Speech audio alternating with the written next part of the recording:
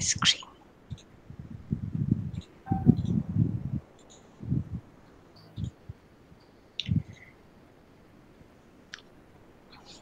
So somebody has joined in.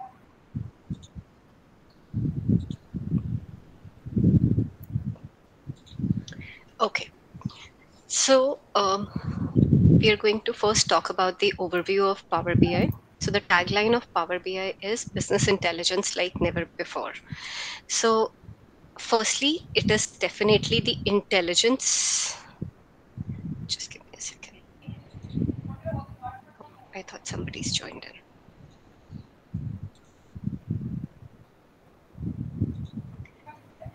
It's business intelligence that we are deriving like never before. Why do we say like never before? Because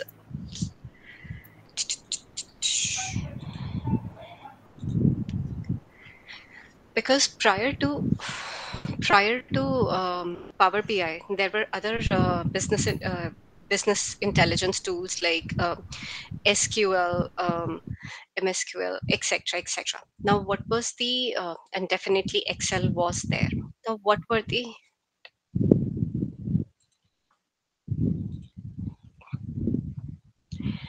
what are the shortcomings of these tools with com- in comparison to power bi so definitely there is a lot of expertise that is required in order to write commands in sql even though it's a query language only. Still you have to be you have to have a fair understanding before you start writing queries in um, sql so um, i mean a lot of expertise is required and it ain't possible that um, we are just learning and we can practice at the same time. It requires after one point in time only you can start curating meaningful results from your learnings in sql especially. Whereas in power bi the moment you've started learning you can start creating meaningful insights. You can start deriving meaningful insights from your data. And more so even if the other person is not aware is not pro at power bi can still understand from your dashboard from your report very easily it doesn't require it isn't a rocket science. Why? Because i mean not why but um, because uh, microsoft has developed this tool with um, for ease of the users right? So let's see at the definition. So what is business intelligence? Business intelligence is a combination of data mining data analysis data visualization using some data tools and infrastructure to help organizations to make more data driven decisions. So it's a business intelligence, a combination of data mining. What do we mean by data? We all have data. And like I was talking about it in the last session as well,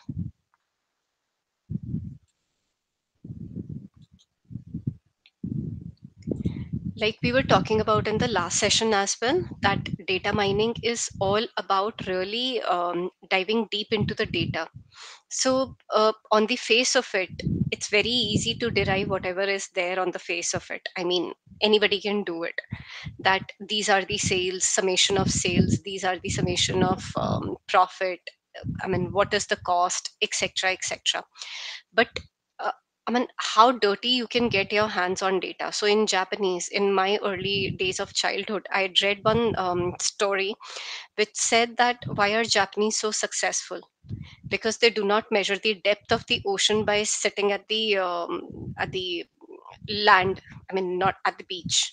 So they actually go into the center of the ocean, and from there they measure the depth of the ocean. So you have to get your hands dirty if you really want to get into analytics and um, data analysis. So data mining becomes very important. That unless and until you are ready to get into get your mind boggled with your data it ain't um, going to be helpful so power bi is an artificial intelligence tool but at still uh, at the mercy of the user.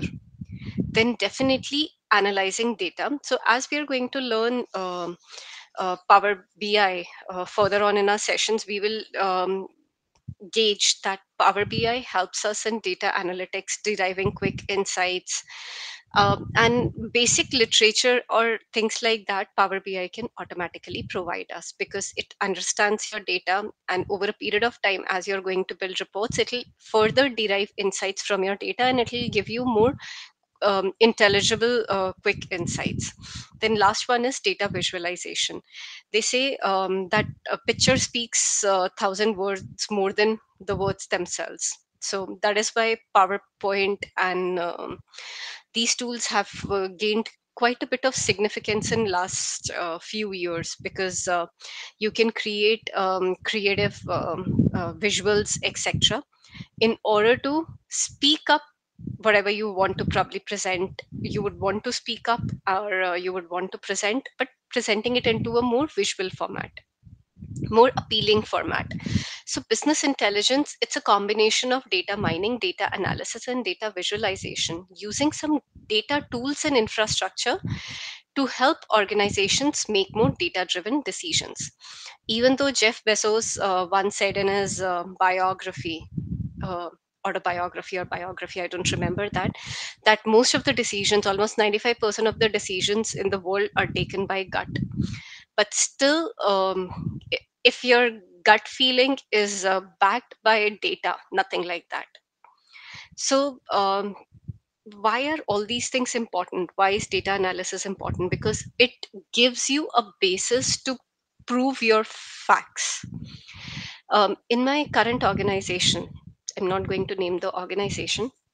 So it hasn't been very long since i joined and i have joined as a business transformation um, lead etc so um, the first few the first impression of the organization was that they're talking i mean with no basis. I mean all whatever they are talking whatever solutions they are providing they are not based on any data. So definitely no matter how strong your gut feeling could be but definitely you need to prove your gut feeling bases your data. So in my previous organization because i'd spent quite a bit of time i mean more than a decade in my processes so i had such a good hold of that that as a result um, i really didn't need to prove my uh, decisions and whatever uh, I mean, they say that you develop that sixth sense with respect to your data, but definitely I used to back it by data because it it used to help uh, convince my stakeholders to proceed ahead with the um, project. So it becomes very important that you start loving your data. Unless you build a bond with your data, trust me, your uh, data is always going to run in different direction than you are. Um, what is big data? So we all keep uh, talking about big data scientists big data scientists. So in fact a few years back i met somebody and um, that lady told me that her um, future husband I mean, that her husband, uh, at that time, fiance was a big data scientist in Canada only. And I used to wonder what exactly is big data and how is it different from our current data. And that is when I when I really started looking into it. That normally what we process on Excel versus what we are going to process on Power BI. So it's it's i mean there are a few characteristics that actually identify that create a differentiation between um, the two things. So definitely big data is backed by volume. A volume would mean not processing like uh, 10000 or 20000 rows but it would mean 40000 50000 1 um, 1 million or more than that. Why is it um, um, 1 million and above? I mean uh, most of us would have worked on excel and would have realized that the the day the moment uh, we are going to increase the number of rows in our excel our excel would start hanging. And eh, the discus would keep rotating and revolving and rotating and revolving and at one given point in time the excel would close and no matter whatever work we'd done if we we not saved we are having a bad day. Trust me it's going to, we are going to lose all that data so big data is definitely defined by volume, how big your data is. I cannot say that 1 million rows is a big data or 10 million rows is a big data, but definitely volume is something that defines what a big data is. That is why we are seeing so many uh, analytics tools like R, Python, Tableau, Power BI in market these days because they can handle big data. Excel definitely is one of the most leading products of Microsoft, but because it has its own limitations and they cannot just do away with it because it's one of the best selling uh, products in the Microsoft suite, they are selling it as a Microsoft suite part. So, uh, definitely they cannot do away with it, and Microsoft has had the opportunity to introduce this. Um, I think Tableau was acquired by Salesforce some time back, some years back so um, these are the tools that we have in the market in order to process the big data. So volume is definitely one thing. Then comes our variety. In Excel, we can only process usually the um, text format, whatever is this. So big data can be image, video, mails, PDF, audio. So again, in my current organization, um, uh, what we are doing is definitely it's a uh, um, just uh, SAP solution that we are implementing. So the um, OCR that is uh, sorry the invoice that is ingested by the vendor is read through the OCR, which is uh, um, I mean which reads the um, the scanned invoices etc uh, extracts data from there and uh, uh, ingests that in our SAP platform so similarly um, big data is also like that um, even if it's an image video emails pdf audio the data can be in any of the format but you still are uh, processing that in the um, and to derive meaningful insights. Velocity the speed of generation of data in excel definitely. If the number of rows are like 10 20 100 800 you can expect the um, speed to be very high and um, there are no issues. The moment the number of rows increase the issues start cropping up. So how speedily we are able to uh, um, generate data how speedily we are going to process our data definitely makes all the difference. Right? Then comes our variability inconsistency which can be shown by data at times. So like we done in a power query session that uh, at times there could be um, um, JSON file, it can be XML format, a data could be in any format. There can be a lot of inconsistencies. Now, Excel cannot handle inconsistencies. However, there are inbuilt um, functionalities in our Power BI overall tool, wherein we can, uh, even if there are inconsistencies in data at time, we can, I mean, inconsistent, when there is inconsistency, we cannot process the data so you have to align your data in one format and then you can process it. But we have the tools uh, through which we can do that. Now what is power bi power bi was essentially available to public in 2015 however it was launched in 2014 as an advanced tool it empowers the end users for business intelligence. So uh, I'm not sure how many of you really practiced Power Query uh, that we did last uh, week. So um, you would have realized that I'm not sure what your experience would have been, but for my previous batches, almost for everybody, when people are practicing immediately after the session or within a day or so, so they realize that um, the scare that is created around um, usually um, before we are learning any new tool etc uh, for power bi it's not the same because from the first um, from the first go you start feeling that yes i can do it so it empowers the end users for BI, BI. So at any given point in time, you'll not feel that you're stuck that you have to memorize a lot of things etc in dax definitely you would have to do it. But at least until some given point in dax dax um, so for power query power bi and some portion of dax you would feel that it's doable. It's a self-service tool. You really do not need anyone's support to uh, really uh, help you with power bi one click reports you will realize as we proceed ahead that it's a one click report. Um, basic reports you can create just at um, one click of a button on your mouse. You really don't have to um, pull in a lot of data from files etc etc once data main data has been pulled in you can create a lot of visuals just at one click. The basic service for power bi is free the basic package that you can get definitely in that basic package um, there are a lot of things still available but uh, but you cannot access i think cloud etc um, no you cannot um, assign users etc in your basic package but still there are a lot of functionalities which, which are available for free.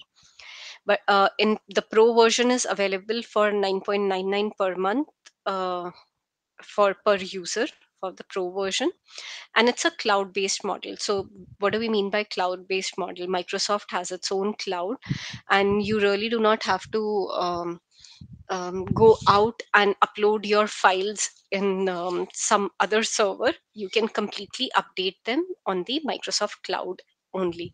So if you're going out for a meeting and you've um, forgotten your laptop at home so if your report is on um, cloud, you can take someone else's uh, laptop, whosoever is available, and you can do the presentation. You really do not have need your laptop available with you at all times. One of the um, consequences that I feel, or the shortcomings I feel, is that you can only use your work or educational emails. So you cannot log in with your Gmail or with any of your personal email IDs you really need to have your work or educational email. Even for work um, uh, educational email i think a lot of uh, uh, you have to upload i'm not sure but you at one given point in time you had to upload your id card etc i think. I'm not sure if it's still applicable but um, you cannot um, access it through uh, your gmail etc quick insights. I really love this feature of quick insights. They definitely are, as the name suggests, they are only quick insights only, nothing in depth. But uh, to begin with, it's not a bad deal. That uh, it can give you what is there on the face of it, and through that, what is available on the face of it, you can develop your uh, understanding further on.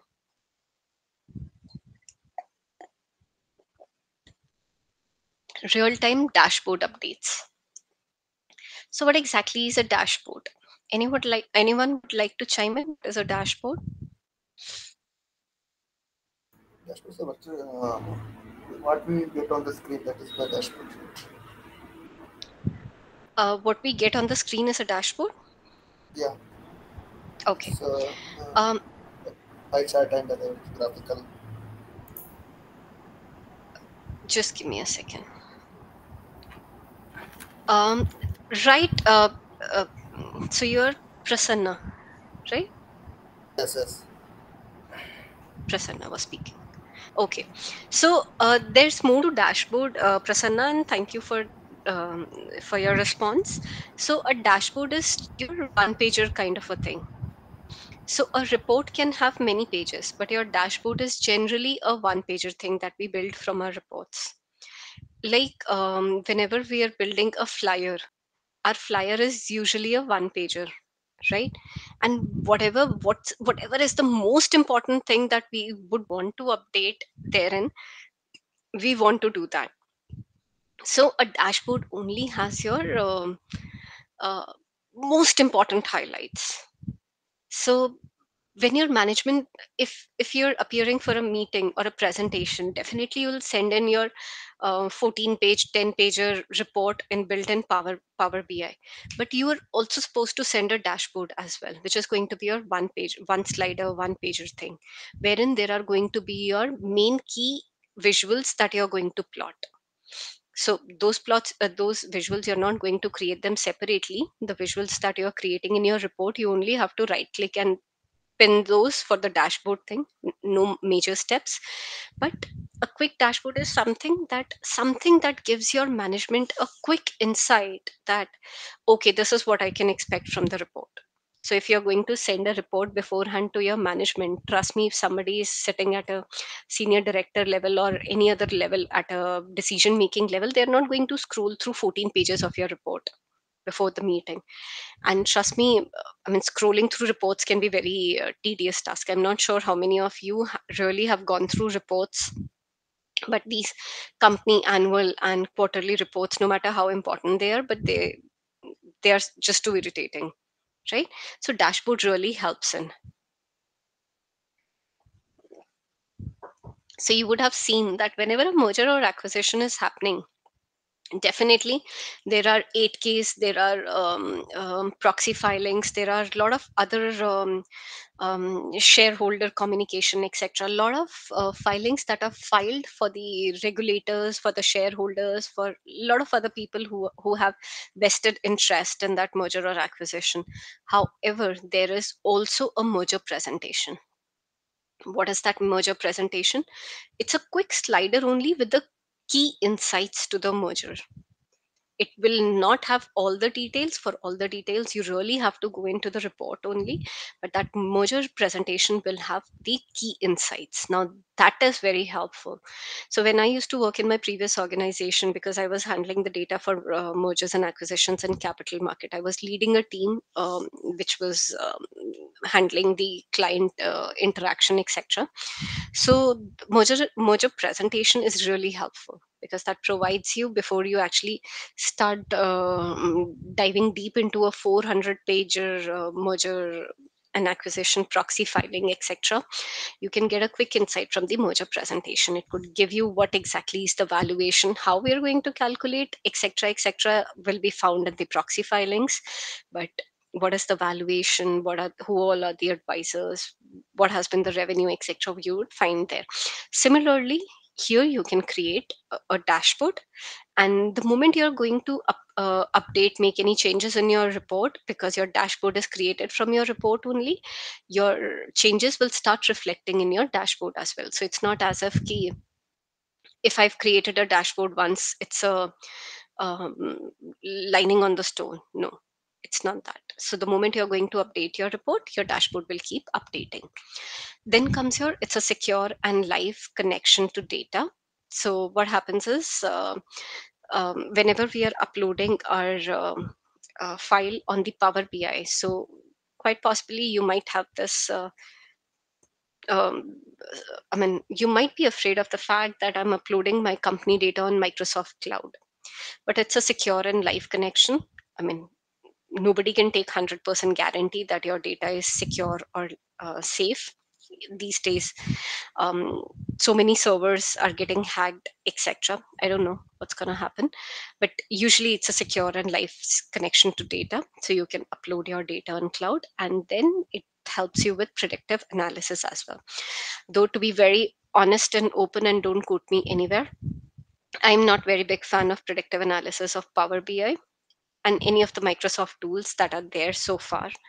Um, i still would like to go by minitab etc but or in case you have some uh, experience in statistical uh, analytics etc then it's going to be helpful because human experience or intelligence is required in predictive analysis. These tools are not so advanced that they can really help you with that. But uh, fair enough if there's an option my job is to introduce you to that why Power BI is beneficial over traditional BI tools. The traditional BI tools are difficult to use. So, which all are the traditional tools like MSBI, SQL, Cognos, Quick, um, uh, QlikView, Informatica, SQL Server Reporting Services, Spotfire. So all these are difficult to use. Trust me, I haven't used all of them except for the fact the SQL. So for me, even SQL was a bit tricky. Um, I, I cannot say that I'm at the advanced level because um, I mean SQL requires certain level of expertise and a um, lot of practice. And like we discussed in the beginning, Power BI does not require some from the day one we can start deriving meaningful insights but in sql they, it, it becomes it is a bit complicated. So who all have used sql before?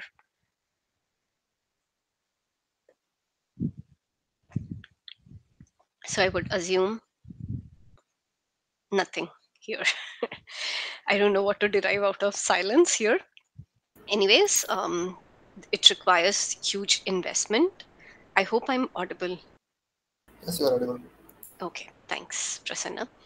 So uh, it requires huge investment. Um the, all these um, products are not free. Like Power BI is the basic version is a free one. So this is not um, the all these products are not available for free just give me a second so i'm getting so all these products are not free whereas the basic version of power bi is definitely free. So this requires huge in, these products require huge huge investment but with power bi with basic investment or no investment like basic investment like putting into a laptop or a, um, this thing internet which mostly people have um, at least until um, tier 1 cities. So um, so uh, these uh, products require huge investment and definitely they are not for the end users. So if i am into development and i send this to my manager some analysis so my manager even in case they do not have any experience with sql etc they, the only thing that they can guide me is that they want x data if i were to expect them to make start making changes they cannot do that. With any even with any basic knowledge. Because they require these tools require a lot of uh, expertise etc in order to really reach at a level where you can start making changes. Whereas with power bi like i said from the first day itself you can start uh, deriving meaningful insights. How traditional bi tools work so like one of the officers is using excel another is using sql oracle text and others. Now the process is extraction transformation and loading. Now that happens at head office because all the offices are using different um, products. And then uh, the data is assimilated at one place and then it is uh, uh, created into one single version and then you can start creating reports etc however with uh, power bi as we've seen in the uh, power query file that we can pull data from different sources. That functionality is available in excel also that you can pull data from pdf from oracle azure etc but definitely in traditional bi tools they are those functionalities are not available so in case somebody is pulling data from oracle or somebody from sql and another one from excel it, it becomes very difficult to assimilate data at one place. What all are the benefits of power bi um, okay if i were not to show you um, the what all are the benefits anyone would like to take a stab uh, what all could be the benefits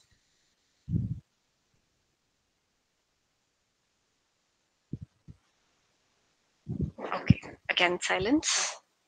So um, power bi boosts productivity. Like we've been talking about that uh, uh, it gives us quick insights.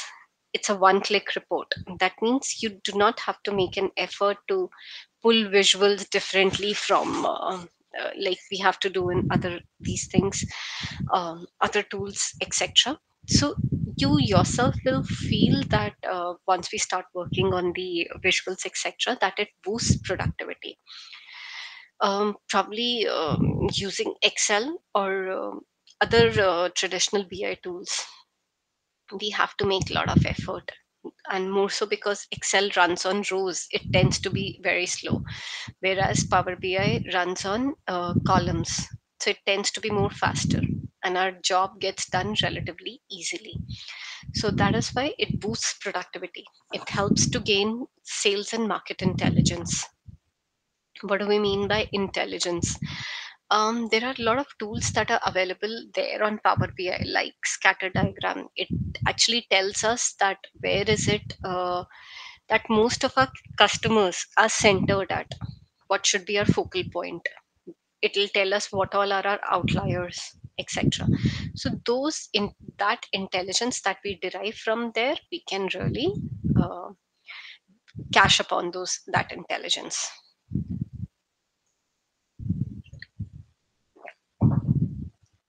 results are closer to established goals. So, whatever goals you've set for yourself, like uh, um, before actually working on any of the reports, tools, etc., sorry. Um, before we actually start creating a report it becomes very important to un- uh, to really establish goals that what is it that we are looking to derive from that?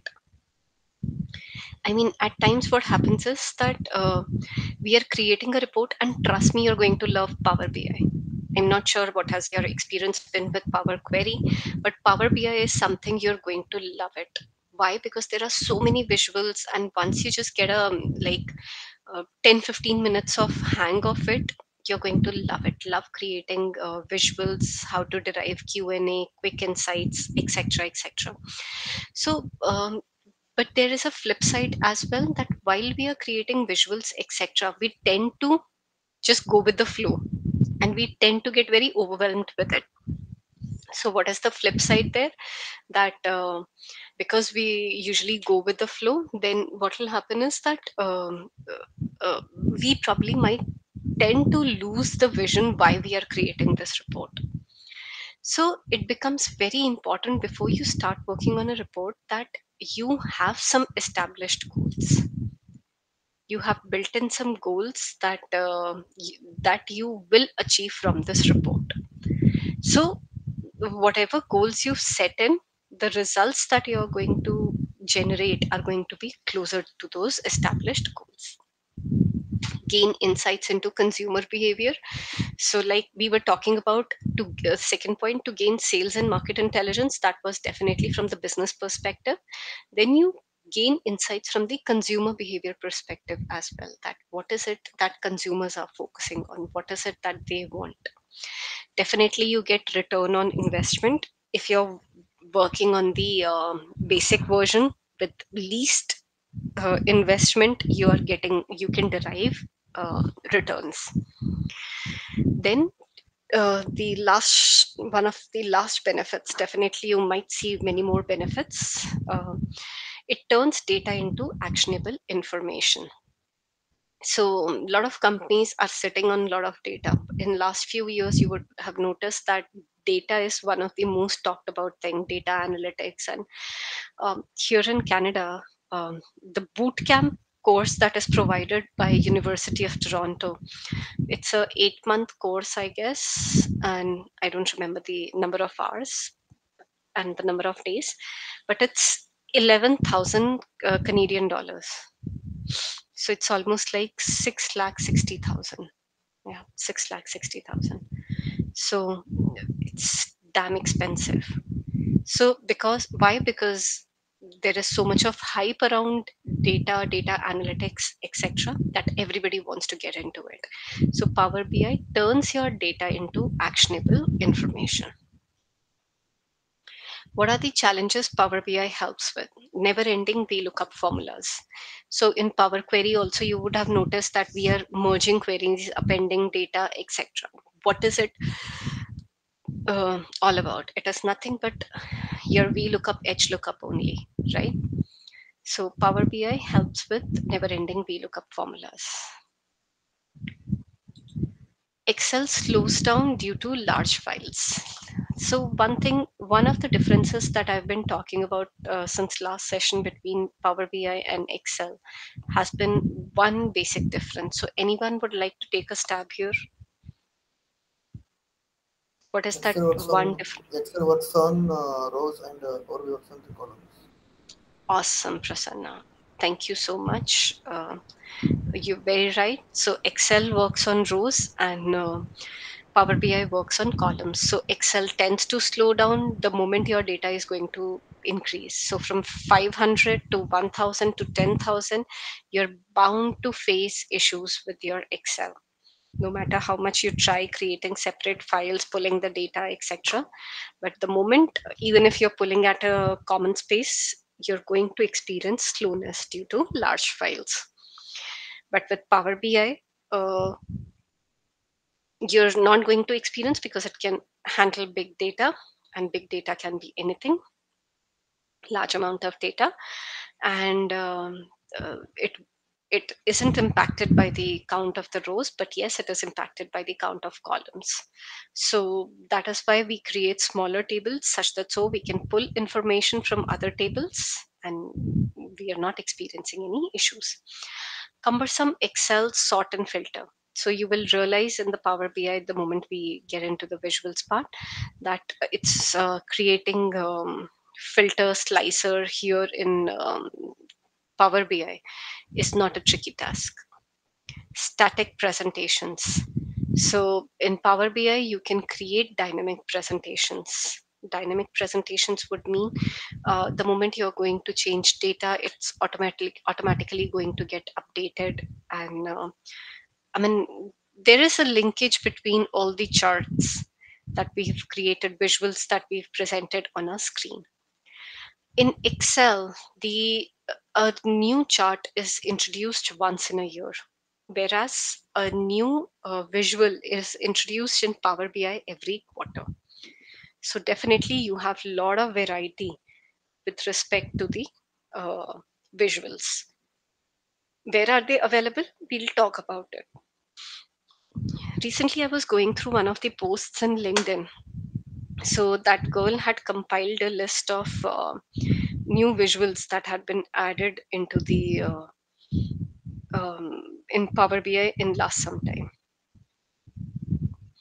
And I think I took the screenshot of that and I think I've lost it, deleted it. But yes, quite a uh, that was an, that was interesting that some people take so much of interest.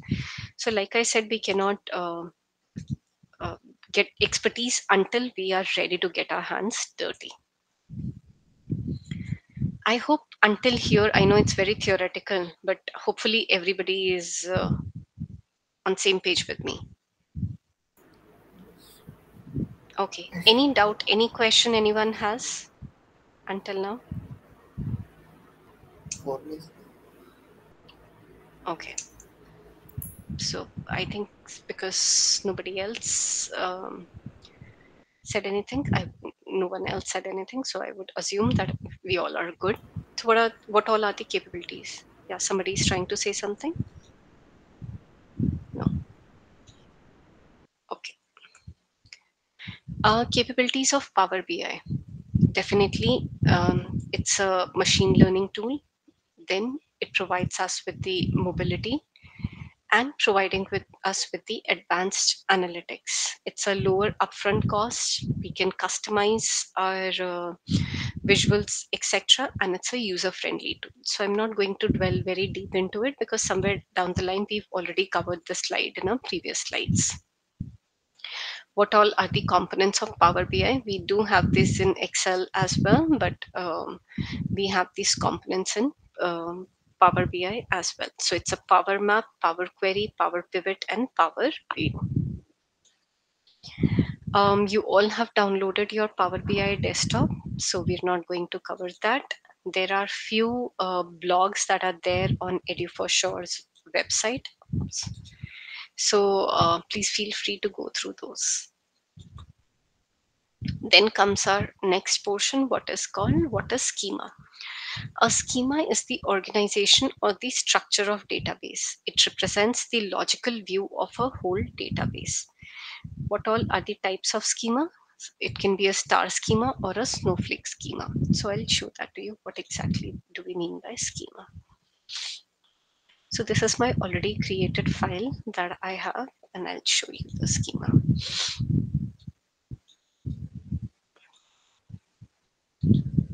So this is one of my main tables that I have created. Remember, I think we've done this in the last session only. We've created uh, the main table, which is our fact table. And in that fact table, because we have all the uh, primary keys and they are the foreign keys for other tables, we have connected these tables. So forget the calendar table for now and just focus on uh, fact table, we have order table, customer table, product table, and location table. So we have a center and we have four tables that are attached to the other ones, right? Now that becomes your kind of a star format. So, what is the schema? As we were learning, it's the organization or structure of a database. So, this is the structure of our database where all the tables are connected with one center table. these tables are not connected amongst themselves. Forget the calendar table because we i'm i'll tell you about the calendar table in the dax session. But until then all these tables are uh, connected um, through fact table but they are not connected uh, amongst themselves right so it represents the logical view. This is the logical view that they are not um, connected amongst each uh, each other but via one common table what are the type of schema? Star schema. So if i were to look at this picture i have one table in the center one branch is going here one is the customer table one is location table and one is product table. Had there been table somewhere up there and down there? So it is kind of a star image that i'm getting. I'm not sure how many of you will are able to imagine it but let me just try and draw it. Uh, let me draw with a red pen so if this is my fact table and this is my one table, this is my another table, this is my another table, and this is my another table. Had there been another table here. So kind of a star format. So this becomes your star schema. What is your snowflake schema? Snowflake schema is that this table has another table this table has another table. Similarly, this table has another table and this has another table. Similarly, all other uh, dimensions could have further other tables as well.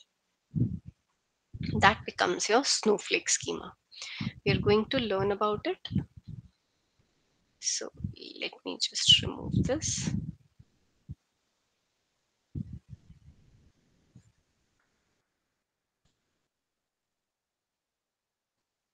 That becomes our um, snowflake schema. Let's learn more about it. So there are two tables, person table and order table. Now these are two separate tables. How are we going to connect these two tables?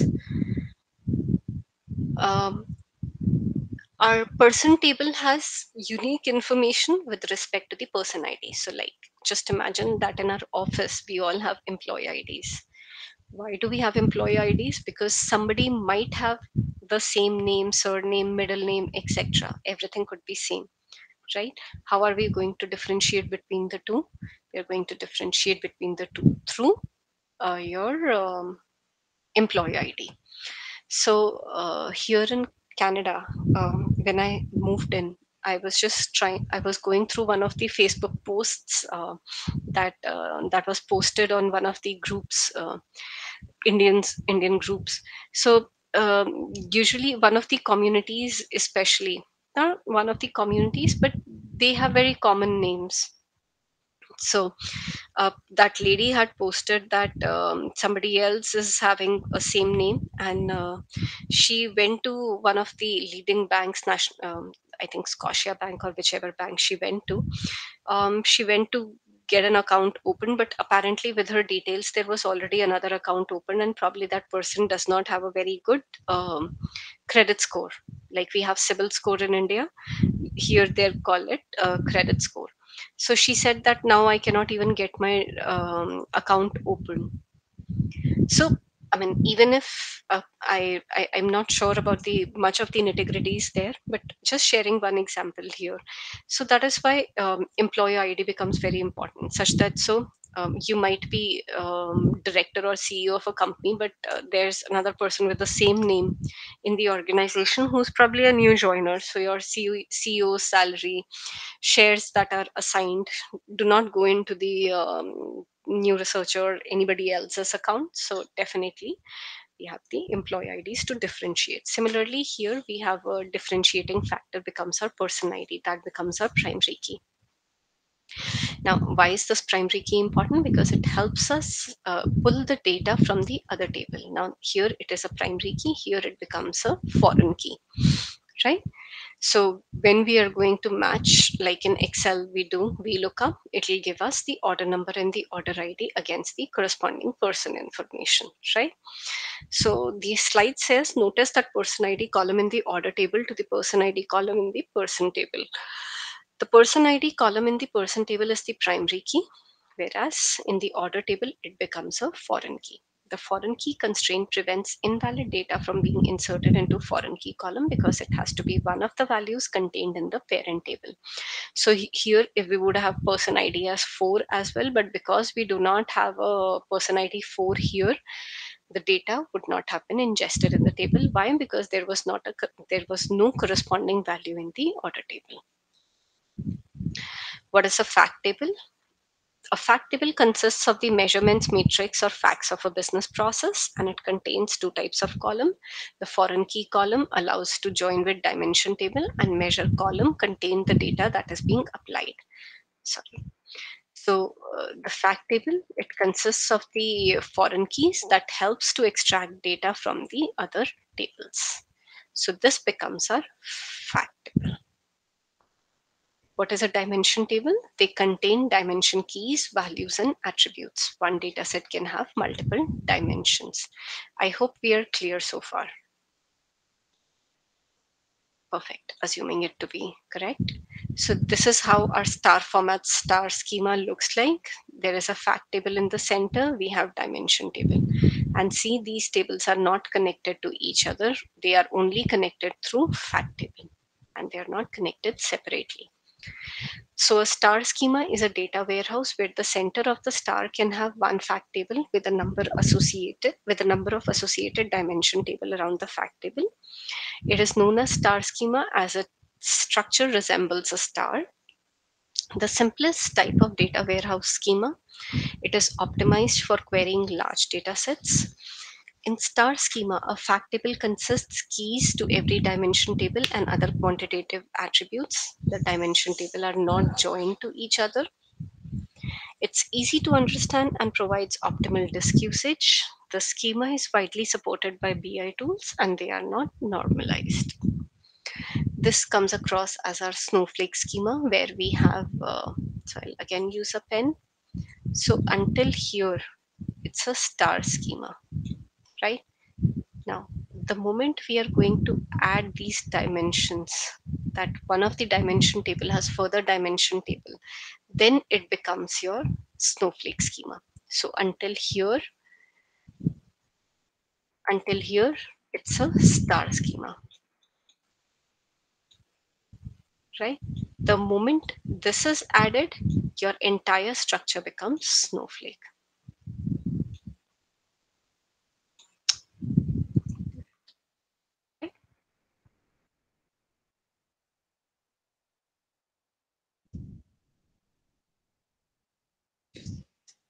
Okay. Perfect. So uh, a snowflake schema is an extension of star schema. It adds additional dimensions.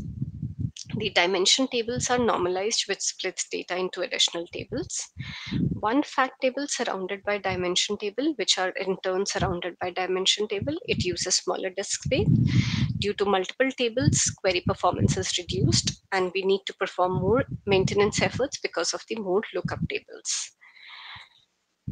Because in case I have to pull location ID uh, or the region, so I'm going to pull from fact table, i am going to go to dimension table and this dimension table will further pull information from this dimension table. So just imagine how many references I would need to give. That first in my query, I'll have to give a reference of the fact table.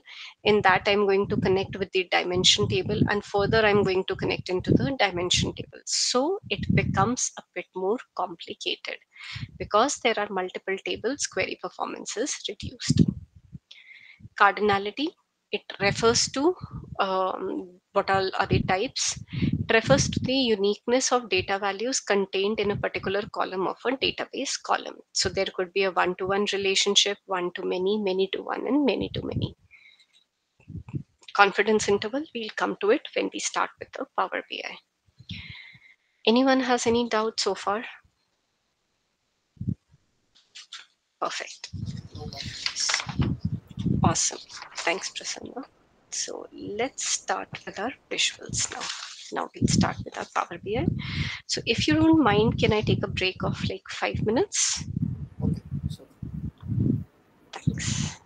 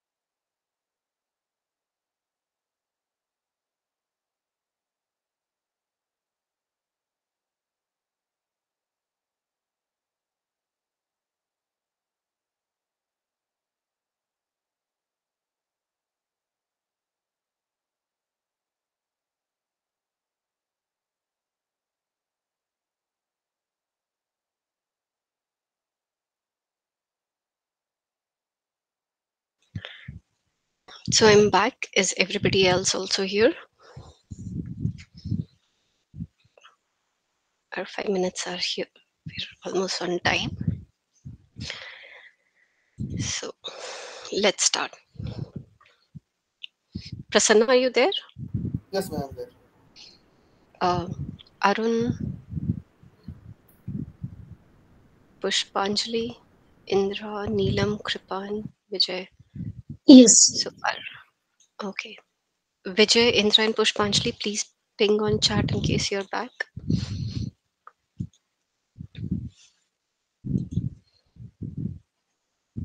Thanks, Arun.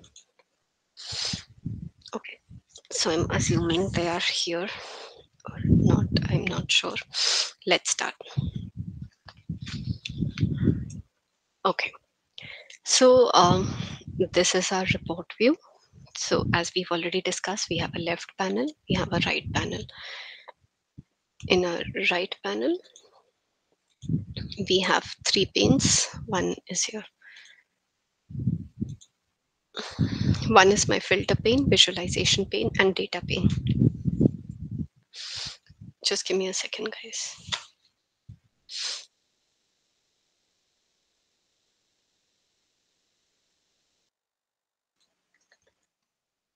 So these are the three panes that we have filter pane, visualization pane, and data pane. So in visualization pane, we are going to mostly work with visualization pane with little bit of def definitely we are going to pull data from the data pane and in case there are any filters that we are going to apply. Now visualization pane has almost like 30 to 40, 35 to 40 visuals that are there. These are static ones.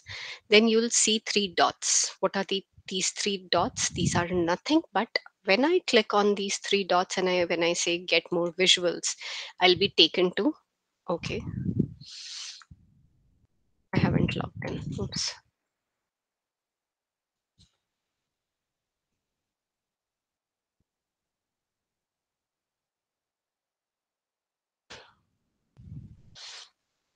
I need to sign in.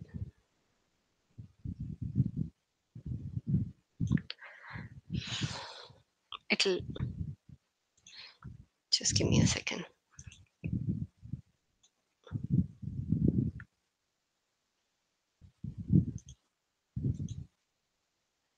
Okay.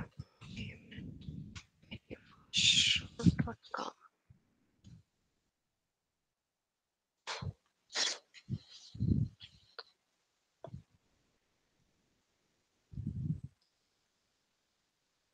I don't know what's the issue. Um, so when you click on these three dots, you can try it at your end. When you mention get more visuals, it'll take you to a marketplace.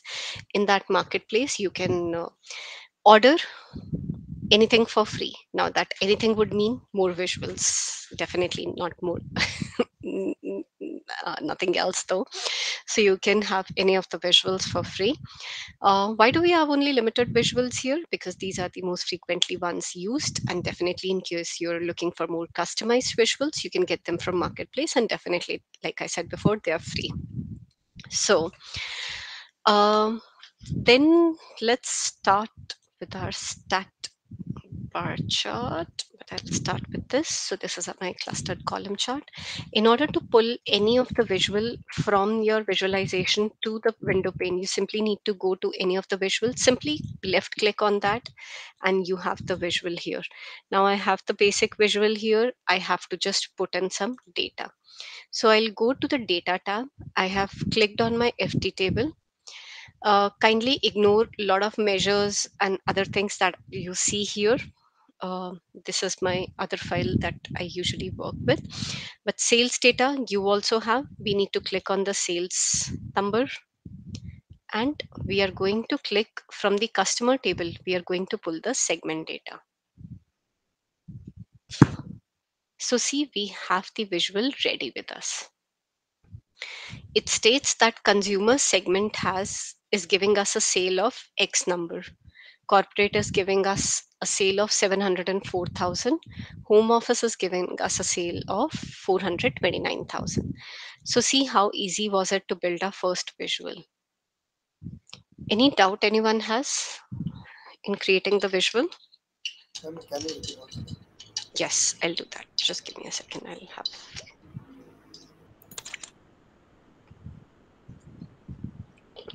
How to bring the first visual into your screen.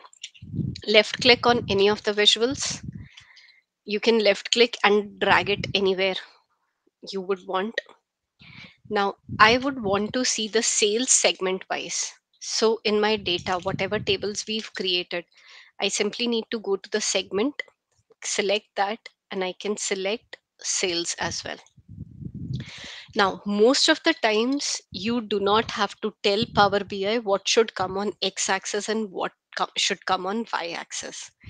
Definitely, at some given point in time, you will have to explain that to uh, Power BI also what should come. Now, if we go to the visual, if we see in the visualization pane only where my cursor is hovering, let's scroll down. So you will say that automatically it has selected on X axis segment should come and Y axis sum of sales should come. Then we have legend, small multiples, tooltips, drill through, etc. We'll talk about a few of these topics as well as we move forward. But I did not tell Power BI that segment should come on X axis and what should come on Y axis. This is the intelligence. This is one of the aspects of business intelligence that you don't have to tell it. You can expand it, you can reduce the size, you can move it anywhere. Then you'll see this focus mode this focus mode button. So once you, I'll explain all other things as well as we move uh, forward in a session. But because I showed that to you before, I thought I should let you know. When you click on focus mode, it takes you into this kind of a bigger window. Right. So this focus mode is very important when you're in middle of a presentation. I used to use that a lot in my presentations. So on those charts and graphs where I wanted really uh, lot of emphasis to be put in, I used to put that visual in the focus mode. Okay. Now see one thing that besides sales, we are seeing a summation sign, right? So this is the table data that we have. It's a summation sign means that it is somewhere down the ni- uh, line summing up the data. Then um, let's go to the order table. Under order date, you are seeing this kind of a image. This is called calendar. Why? Because dates are always in the calendar format. So you would see the calendar table here. Besides location, you are seeing this table format. Why? Because this is a table that we had created for location, right? Now you would see, besides this, wow, we'll come to this part uh, in DAX session. So don't worry about it. You are seeing a calculator sign. Why we are seeing a calculator sign? Because we've created a measure. And there should be one more. Besides cost, you would see this kind of a signage. This means that we have created a column. So I'll again talk about creating columns as well in our as we move uh, proceed forward. But this is creating a column. You don't need to memorize it, but it's just a good to know thing. So where we left was that this is the intelligence that Power BI has generated, right? Now, um, just give me a second. Let me see.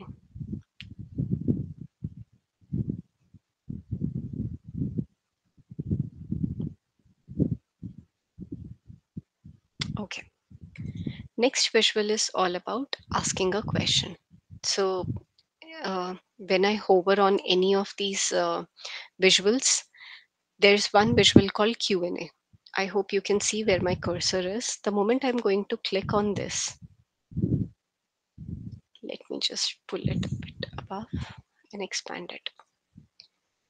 Now my file already has a lot of data. That is why I'm seeing a lot of options. But in case you also have a lot of data, I mean, definitely I've created measures as well. So even if I were to remove those and with the basic data that we have, this Q&A is very, very helpful. How? It gives me options. It gives me an option to ask a question, or it is giving me a starting point, what all I can see. Top location states by total sales. Let me click on it. Click. And it is not giving me anything, not creating a visual. Okay, and I clicked enter and see just by selecting the question, it created a visual. And if I think this is a beneficial visual, I just created it into a visual. Now I can plot it just in my report.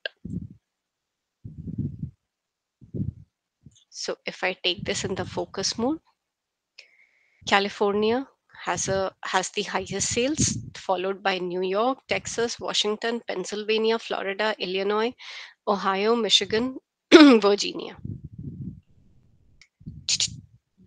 These are the sales that are, um, I mean, states labeled by sales.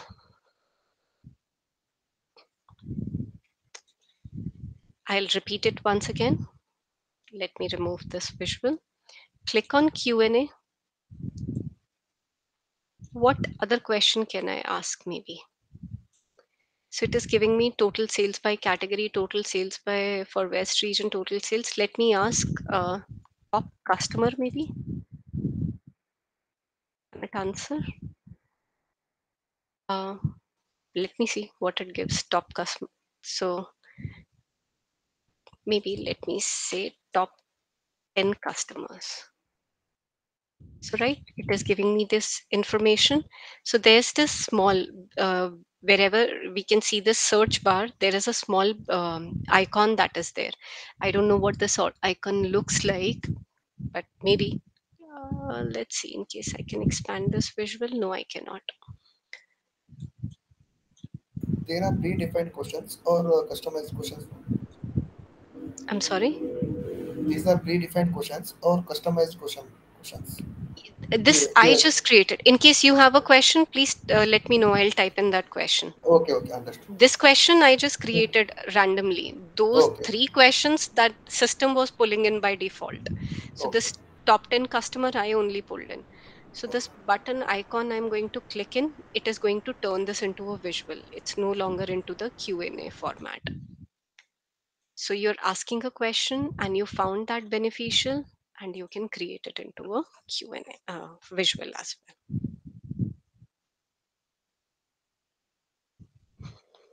Right? Make sense? Okay.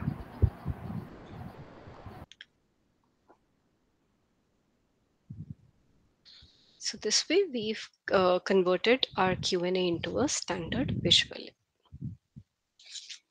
Next comes our uh, map and conditional formatting. So let's click on a map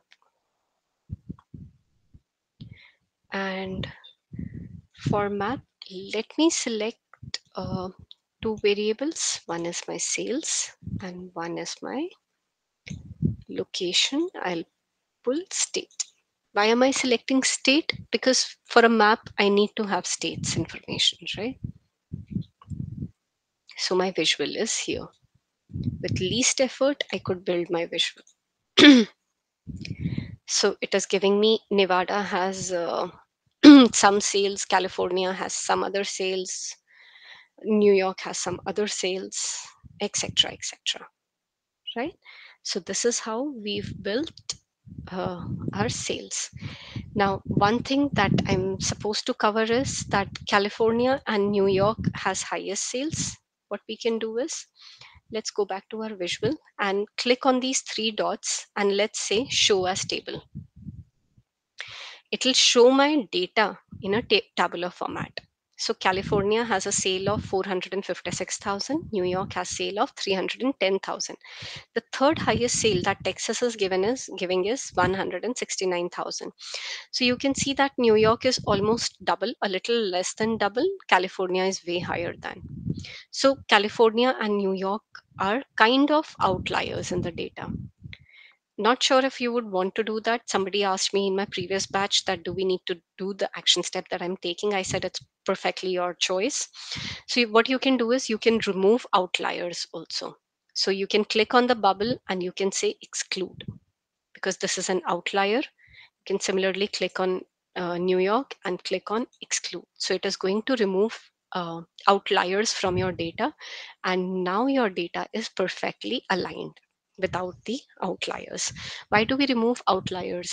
Remember in our childhood days when we were doing statistics, whenever we are calculating averages, in case uh, one child scored like 1995 and rest of the class is hovering around somewhere in, uh, uh, I mean, I mean, like uh, 10 students got 95 but other 20 got 33 marks only somewhere our average is not going to reflect the true picture right? So that is why we remove outliers. So uh, to get a true picture of our data it's completely your wish how you're going to identify outliers and if you would want to remove those but we can remove these as well. Now um, what are we going to do? We are going to see that how can we color them? Now whichever visual i am on right that visual has to be definitely selected and there is this paintbrush icon that I can see. This is format your visual. Click on this. Now for every visual, there is going to be a different format your visual. Whatever options I'm seeing here might not be available for stacked bar chart, right? So the option that I have is I have to go, I, I am looking to color my bubbles. So I click on bubbles, the size, then I see colors.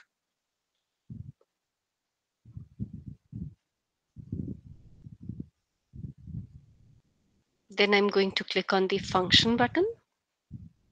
Why function button? Because I'm going to change the color, it's going to be static. So let's say uh, I'll select this as gradient only. There are other options like rules. We'll learn about rules in our subsequent session. What field should we base this on? So we are showing what we are trying to show is differentiation in the colors based on sales. So this should be based on sales.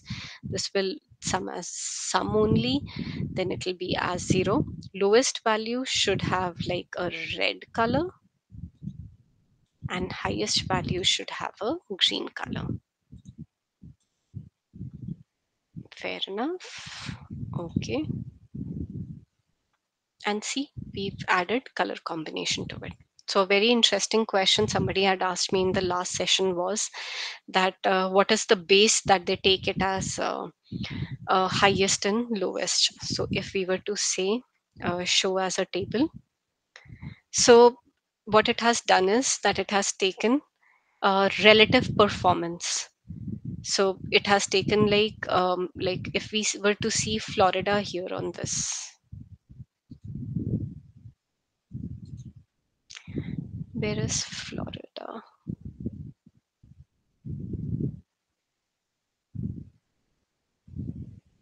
Okay here it is florida. So the color of florida um, is some different shade of green and texas washington and uh, pennsylvania.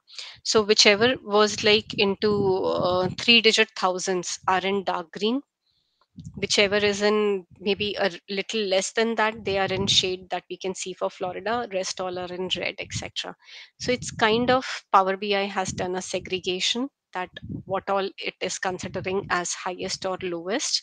So it has computed a formula intelligently based on its intelligence and it has represented the color coding. Any doubt so far nope am i audible guys? Yes, you're okay. So this was our map right? Now we are going to see the filled map. Filled map in itself does not have much usage but i don't know. You're going maybe you would want to publish it on your brochure. You would want to publish it in your dashboard. So you can use that. I did not see much benefit though but this is our uh, filled map so filled map we are going to take maybe uh, say state as location and we are going to take uh, region here as legend. So I'm just trying to show what comes in the west region, what comes in the central region, what area comes in south, and what comes in east. So in India, it's very easy to determine um, north, south, west, east. I don't know, India on map is so differently uh, this thing. But here, the region west is includes these things central is this because this is more flatter region. India is like kind of uh, vertically and horizontally. So this is more horizontally this thing. So this is how it is divided. That region is this south is this and east is this.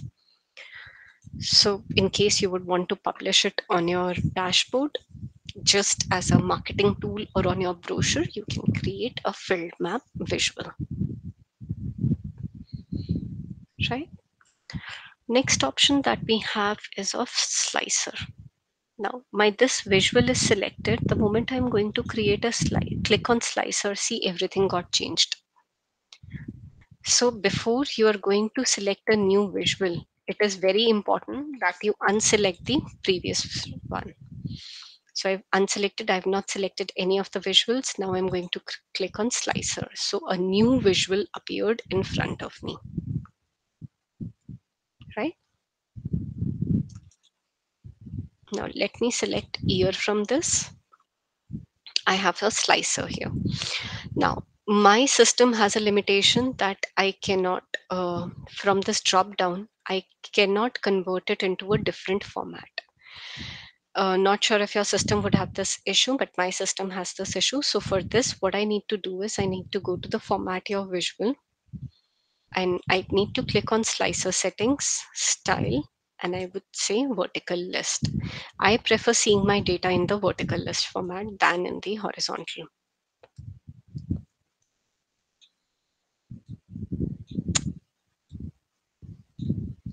So this is my small slicer that I have created.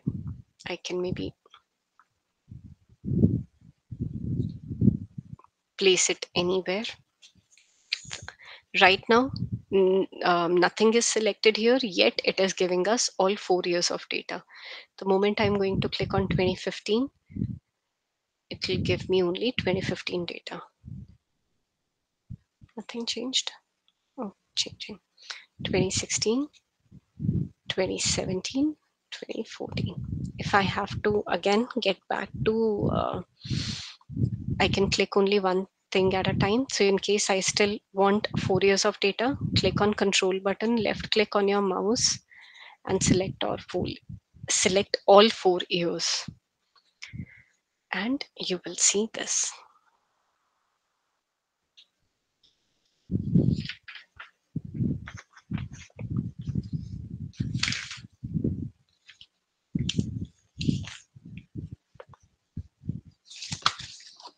How are we so far? Okay. No questions, guys? Uh, can we exclude one of the selections from this slice bar? Suppose we have four one four chart, right? But I want right. to, uh, yeah, I want to de-affect one of the chart. You want what? Uh, let's say there is a one chart I don't want to know uh, that uh, select when I select this year, one of the charts should not impact. Okay. Yeah. Can we do? Mm, you will have to create a DAX measure for that then, because uh, just okay. So when we go to sync slicers, uh, let me check that if we are able to do that.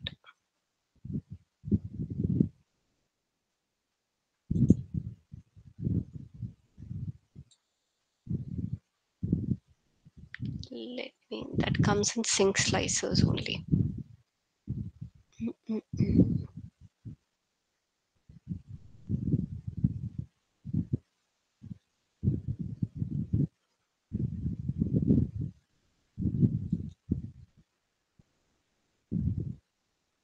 So then what you will have to do is, um, very good question.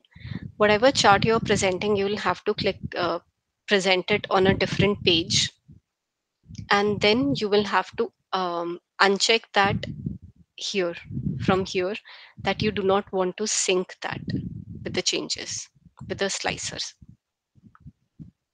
That ways, all the changes that you're making in the slicer will not happen on that because these are dynamic reports and it'll bound to make all the changes but when you're going to present it in a different one so we have two options here add and sync with all the pages or select specific pages so if you're going to present that chart on a different page and you're not going to select that that in that case your uh, whatever uh, selections you're making it will not happen on the other thing right Mm, Right, correct. Thank you.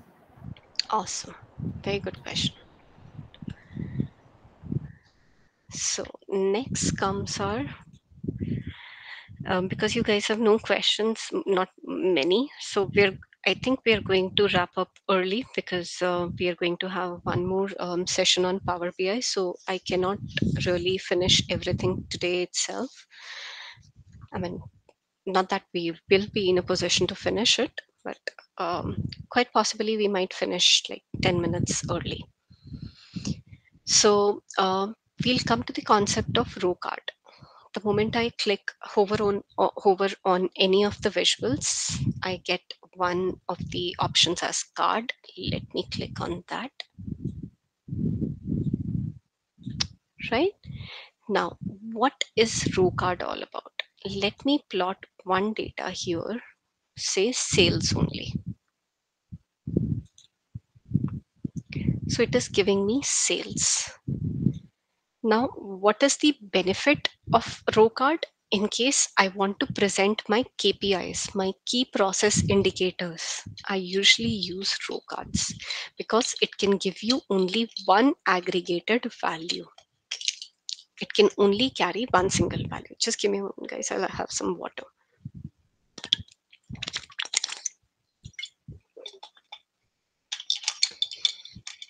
So it carries only one single value. So something that you would want to highlight as a KPI, you can use your row cards, right? So the moment I'm going to unselect uh, all of, say 2014 is what I've selected, the amount is changing. 2015, it's going to change. 2014 and 15, amount is going to accordingly change. So row card will give you one aggregated value and it can be used as a key process indicator. I- mean, I usually use, this- use this for as a key process indicators because they stand out. Another option that we have is multi-row card. So row card will have one option available, but your multi-row card can have many options like I can plot sales. I can plot segment also. So what it is giving me is that consumer segment has a sales of 532,000, corporate has 257,000, home office has 164,000.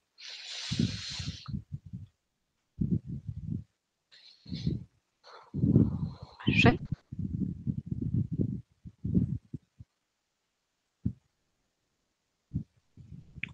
So this was about our row card and multi-row card. What is the difference between two? In row card, we can only have one value. In multi-row card, we can have multiple values. So I can even plot profit here.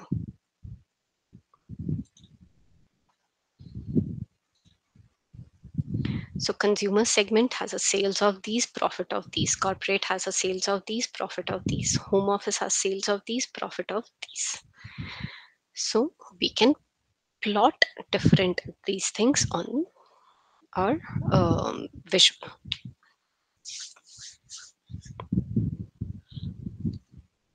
Okay. Next one is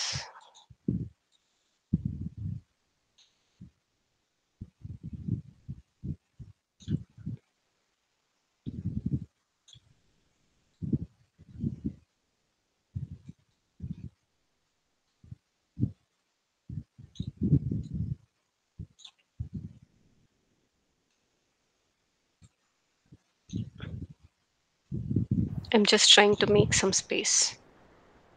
Uh, so, ma'am, this KPI, whatever uh, we are seeing, Yeah, this is uh, uh, this is the sales of complete data sales data set, right?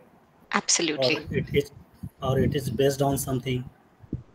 No, no, no. It's uh, like if I am going to select 2016, 14, 17, it will give me the aggregated value. So it is on complete data, nothing. So this data even you have.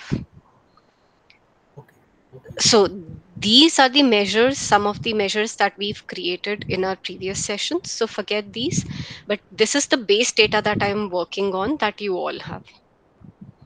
So probably somebody had questioned that in one of uh, in my last session I had pulled data from the orders table, whereas um, order table does not have that much data. But I think uh, the data is still the same. Probably I renamed my file from master data to order table. I don't know, but data whatever you have and whatever data I have, it's exactly the same. Right. So do not worry about anything. You're going to get the same results. um in case you're working on row card etc the data is same you're going to get the same results but obviously you have to uh, remove duplicate rows columns that we had discussed in the last session. Right? Now our next option is that um, let's select a pie chart here. And let's plot our uh, state-wise sales data. Sales. And let's plot state state comes in here see this is how our visual is looking like. So if i hover here i would know that it's uh, california which is giving us 19% of sales. New york is giving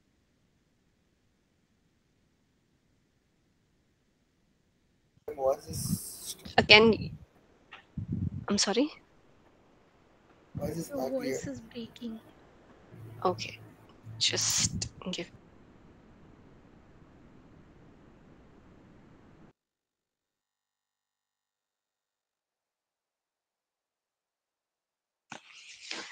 um, let me know in case i'm audible better now. Yes. am i? Okay. Yeah. Yes. thanks. Thanks. So um, i mean everybody can have their own different opinions but when i see this much of data i somehow start my eyes start hurting. There are so many colors and it's kind of i'm not saying that um, i'm a colorblind person and with due respect to others as well but quite possibly some people are not very good with so many colors in one image. I mean this is uh, il- illusion creating kind of an illusion for me.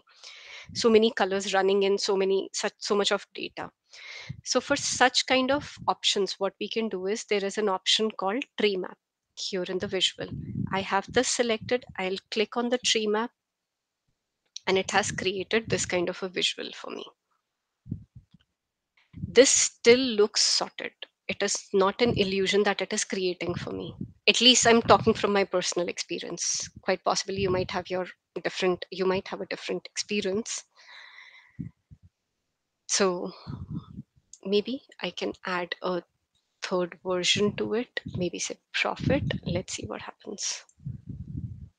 So it has it is giving me an option of sales and profit. Maybe i can just do two only. It looks a bit clumsy. So you can use um, tree map as well. This was the option of tree map so uh, in our previous organization we used to have this uh, in the tableau wherever we were to represent the account information big accounts and the sales um, so basically i was managing the customer success team uh, where um, clients so we had a policy that um, in case client comes up with a defect in our data so $50 would be awarded in case whatever client said was correct.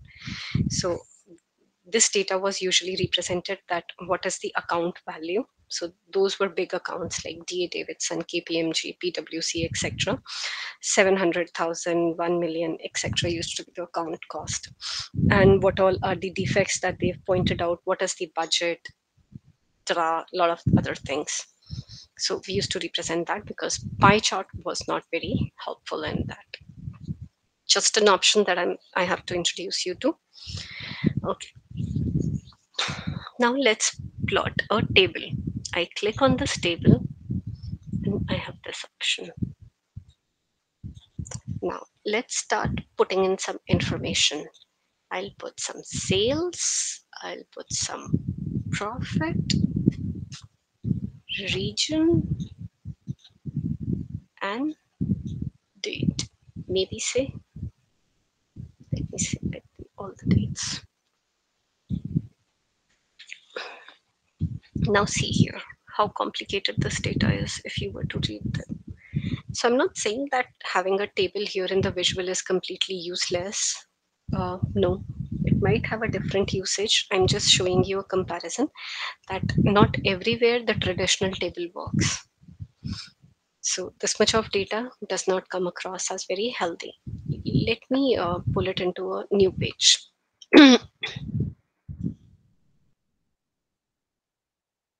So I just completely clicked on Control X, did nothing else. Control X and Control V. So this was my table. Now similarly, I'll have a matrix visual as well. now, let me put my uh, sales, profit, region, date. Now see the difference, how my data is coming across. Central region, sales and profit. I can collapse it one level. It will come as 2014 has these many sales and profit of this, ta whatever information. Quarter one, quarter two, quarter three, quarter four has this much of information. Quarter one, January, February has this much of data date wise these are the dates on which we made sales and these are the profits or the losses that we earned on that. So see data is more in a contained format. Whereas in table format the data is kind of spread out in your uh, this matrix uh, matrix. It is more concise in more concise format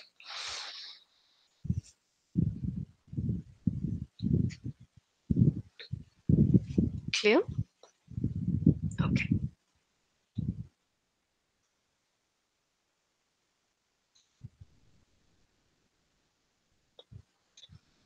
See we can see more options here. Whereas in this table i cannot see any other option but in herein i can see more options. I'll come to this in our next session. But um, just for your information that wherever we have collapsible data we'll have these um, tools that will appear right? We'll discuss in next session because every session has a flow that we have to maintain. So i just thought of introducing it to you. Next comes our funnel chart. Let's click on funnel chart. And let me select my uh, subcategory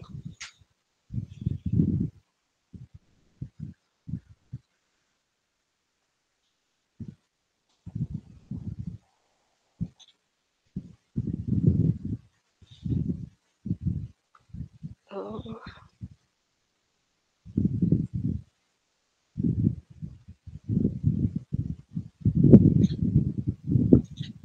so in the product table i have subcategory. I'll select subcategory and i'll select profit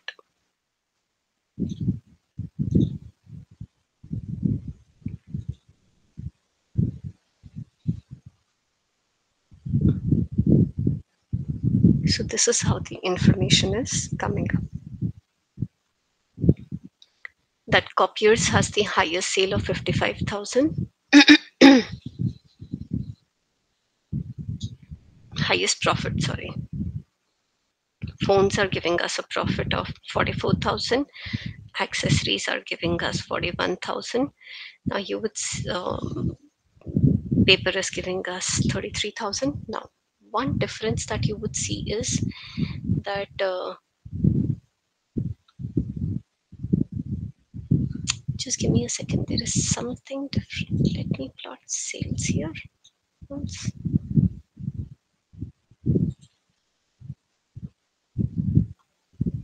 Mhm. Phones are giving us highest sales. What is this highlighted getting here?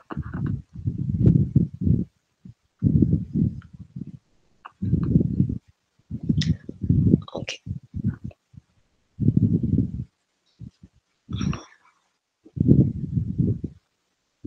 Okay. Um,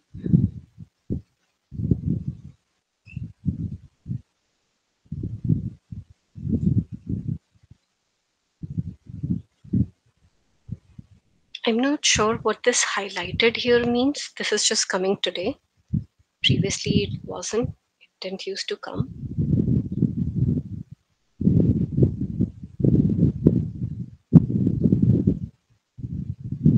So, guys, just give me a second, please. I'll just be back in a minute.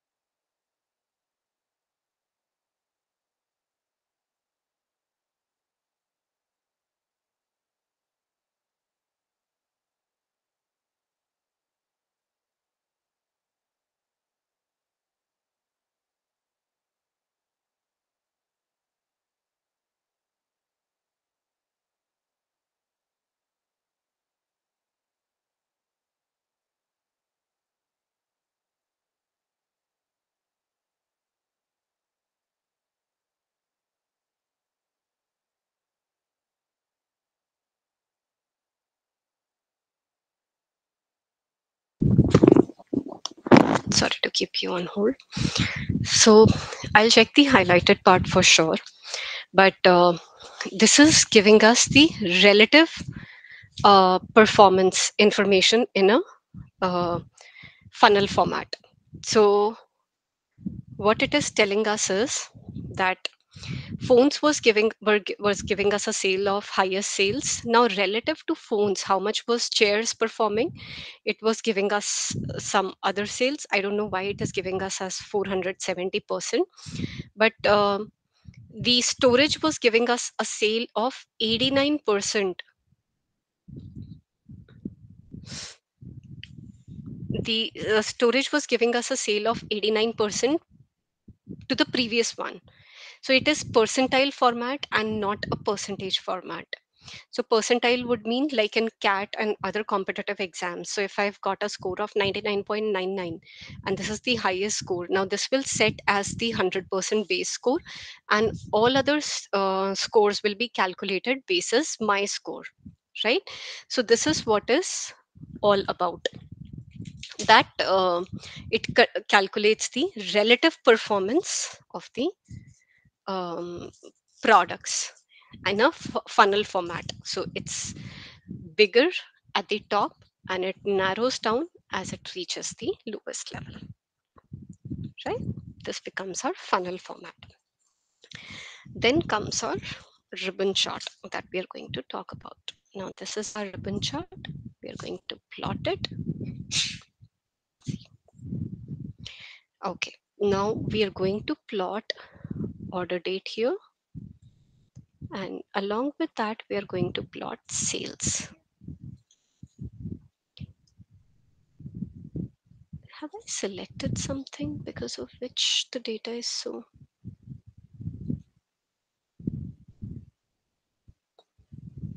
Now it's coming fine, the color. I don't know why it was previously coming like that. Herschel phone Now can you see that? I don't know, I did not do anything, but now it is giving us that highlighted part has just gone. Now it is giving me correctly the funnel chart. The phones are giving us a sale of 329,000. Chairs are giving a sale of 326%.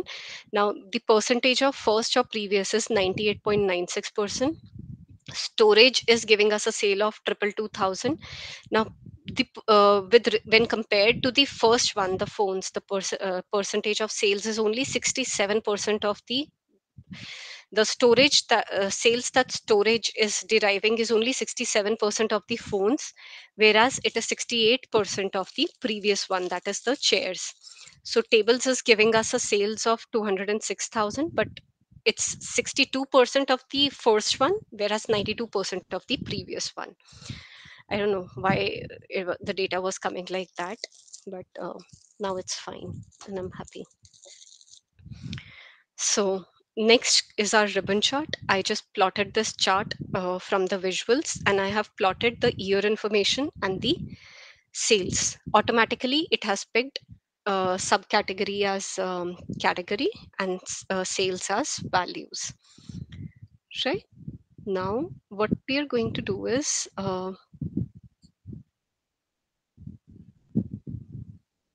we are going to plot segment. If I'm going to select segment here, the ribbon chart will not get popul uh, will not get populated properly because segment is selected as a category.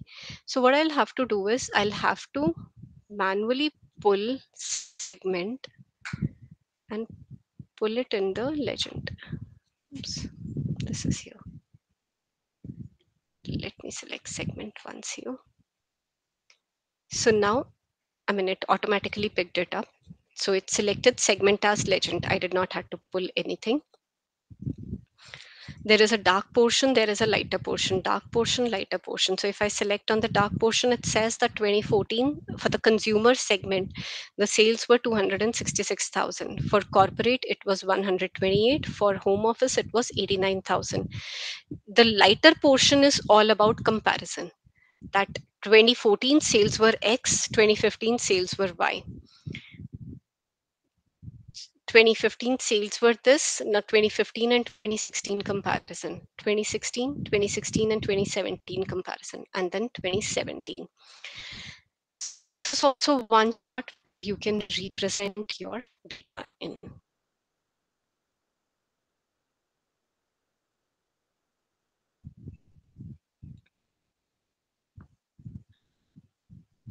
Right?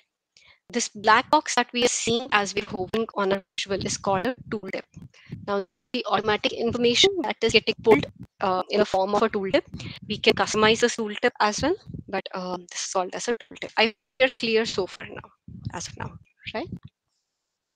Since we still have like 15 minutes, I'll uh, jump onto few other aspects as well. Okay. Can you explain Next. legends once? Okay. So what we've done is until I had selected segment, my information was coming as a uh, column chart only, right? There was no other information. Uh, simply it stated that what are the um, sales by year wise. So legend is thing, but I simply selected segment. I just simply selected another. Okay. Why did it burst?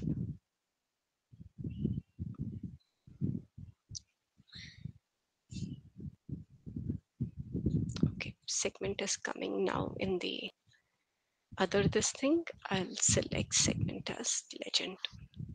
So it's like defining your legend that we do in Excel. That consumer segment is blue, corporate is this, and home office is this. So it's just divided that data basis the segment, and we are putting it into a legend because we want to categorize that what does blue, uh, light blue, dark royal blue, and um, this orange or whatever shade this is. This mean brown, whatever the shade is. So it's basically selecting three variables that we've put in into our data.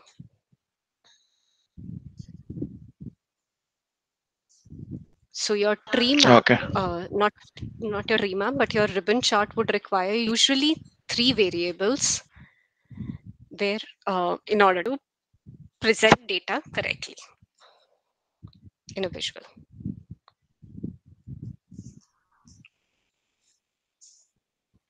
Okay. I hope I, I was making sense. Yeah. Okay. Next comes our filter tab. So one type of filtering that we can do is definitely from the slicers that we talked about. More so if I select something here, even that will filter my data. Right? Now another filtering that we can do is we can filter our data from this pane as well. So there are usually, uh, if I have this selected with me, I'll get many more options. If nothing is selected, I'll have the option filter on this page and filter on all pages. Do I want to apply a filter here only on this page or on or on all the pages of the report? When I have a visual selected, it'll give me another option which is called filter on this visual. So in case if I, if I apply any of the filter on this visual, it will only be applicable on this visual and definitely as it states on this page and on all pages. We'll see it through examples as we move forward. Uh, that was about filter one. Now let's talk about these three tabs that we can see. When I click on three dots, I get the option as export data. If I click on export data, export this data, this data can only be exported as a CSV file. So if there is something that you have created, you would have the base data. But if you are referring to somebody else's uh, uh, Power BI report, you would want the data for your perusal, right? In that case, you can export data in a CSV file. Show data as a table. The moment we are going to click on it, it's going to create a small table just underneath the chart. Remove would remove this uh, visual from the uh, from the report we are creating. Spotlight, the moment I'm going to click it, all other will be um, hazed out. Sort axis, in case I would want to sort it through uh, in ascending descending order, or uh, I would want to move this to y-axis and y-axis to x-axis. I can do that as well here. As we talked about focus mode, it brings about the focus on the uh, on the visual that we were talking about. And then there is this filter on visual. Quite it will work for many of you, but my system has issues with respect to the slicers. So this acts as a filter as well. It will give you option that what is it that you would want to filter upon, right? Now, if I have none of them stated and I have to present, no, uh, when I used to be a kid, and definitely this is something that uh, is breaking. followed till that whenever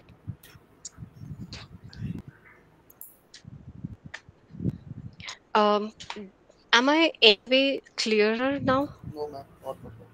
I'll just yes, my internet unstable.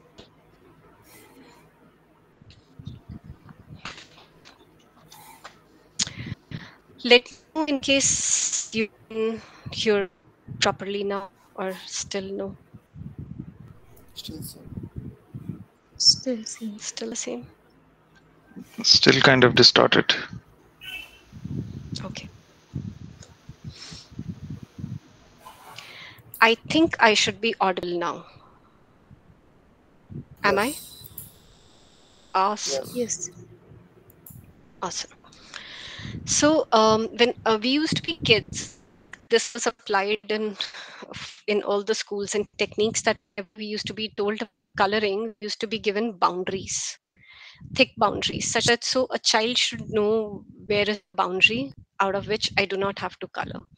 Similarly, somewhere down the line, it's still a mindset in all of us, even though we've grown up, we are grown adults, that we like to see boundaries. Right now, it becomes very if you see these two tables sitting right across there is no boundary i mean i personally do not like it right um, i'm not sure about you so it's always good to give some boundaries uh, to the um, to our visuals so I've, i'll select this i'll go to format your visual and i'll type in border here so I think the screen is frozen. I'm not able to. Okay is it frozen for everybody else also Uh, Yeah, it was. Okay, let me share it again.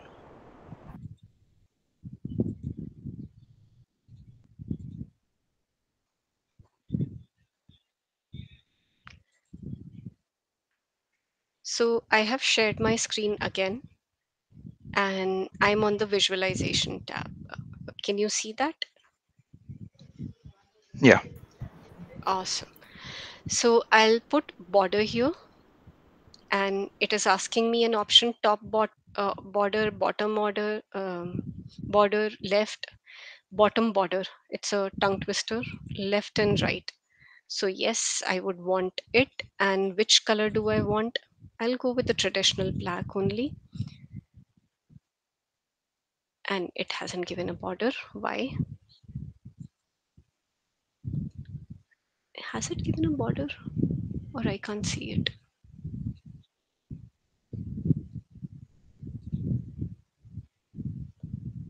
Oh, it has given a border.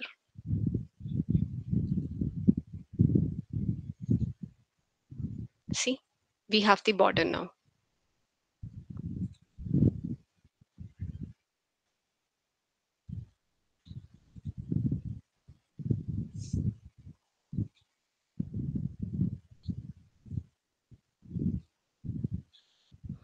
Let me put border on this visual. Quite possibly it'll be a bit better. I'll go to format your visual and I'll search for the border in my this thing and I'll say border on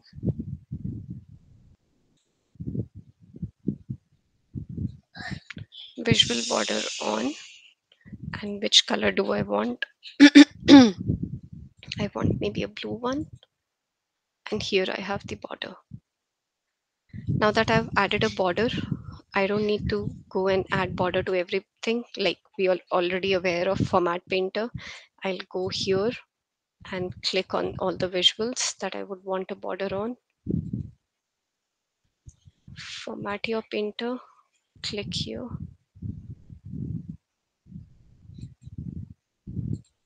and the border is added. So this becomes our adding a border. So once the border is added the screen. So this way you can add borders to your uh, frames as well visuals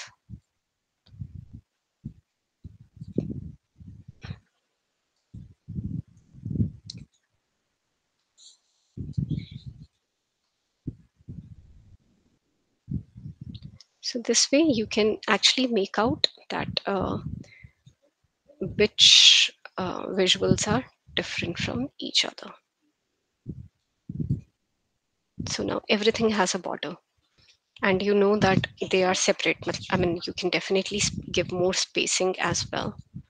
It's not as if that you cannot but whichever way you would like you can create more spacing as well right so next one that we are going to talk about is like i was telling you about the tooltip functionality. How can we customize the tooltip? Now, if I'm here and uh, let's go to the previous chart only, something basic, let's pick up. So if I'm here on sum of sales by segment and I have to customize a tooltip, like if I have to plot my profit here, if I click on profit, it'll give me as a separate column. But this is not the column that I want. I want it in the tooltip. How can I do that? So what I'll do is I'll unselect profit from here, but I'll scroll down in the visualize segment and I have an option called tooltip. I'll pull my profit segment here in the tooltip. Now see, if I'm hovering on any of my column, it is giving me sales and profit as a tooltip.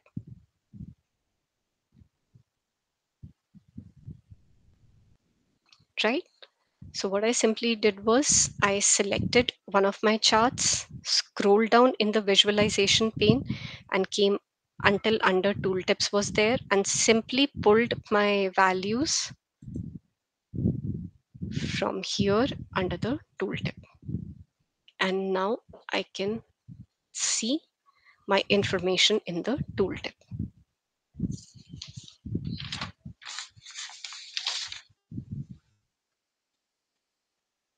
Right? Now, last thing that we'll cover for our day would be small multiples. If I immediately your manager asks you that you that he or she would want to see the data region wise, what are you going to do? You're going to plot, you're going to create four separate charts, right?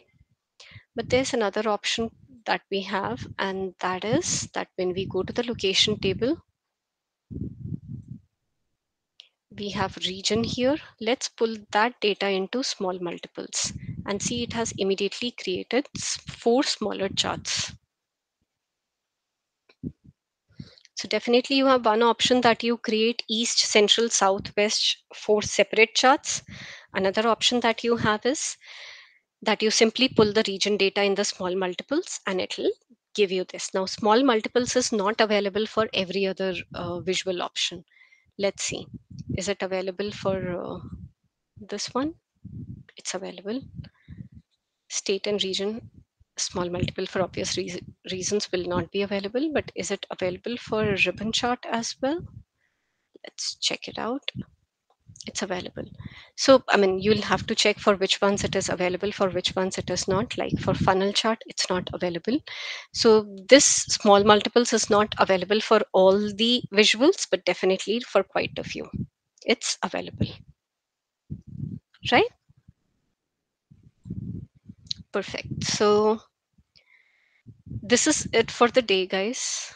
Anything anyone would want to ask? Oh. Is there a way to rename anything within, um, you know, a chart? Yes, For example, instead of sum of sales, can I just say sales?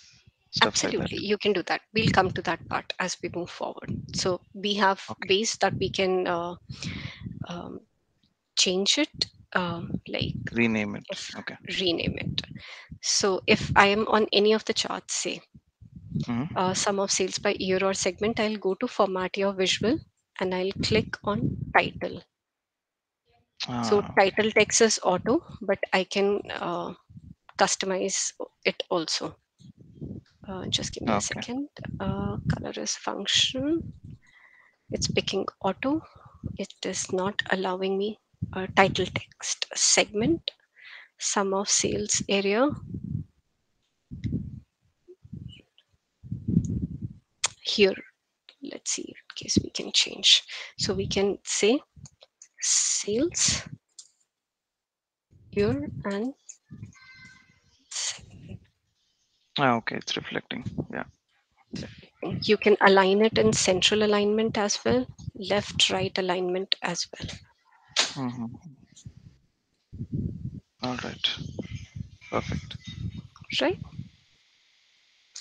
you can create dynamic ones as well but we are going to talk about that in the dax session how we can create that uh, uh, right now we have 2014 15 16 but if i'm only representing 15 data then your title should highlight um, sales um, 2015 and segment so you can Okay. customize that as well this is Okay. not dynamic this is static whatever you've mentioned it will come like that only but Mhm. we'll learn about that in the dax session Okay. any Okay, further cool. questions anyone has Uh, no, that's it. Thanks. thanks arun awesome prasanna thanks indra neelam pushpanjali and vijay thank you so much for joining in this session Thank you, so ma'am. Yeah. thank you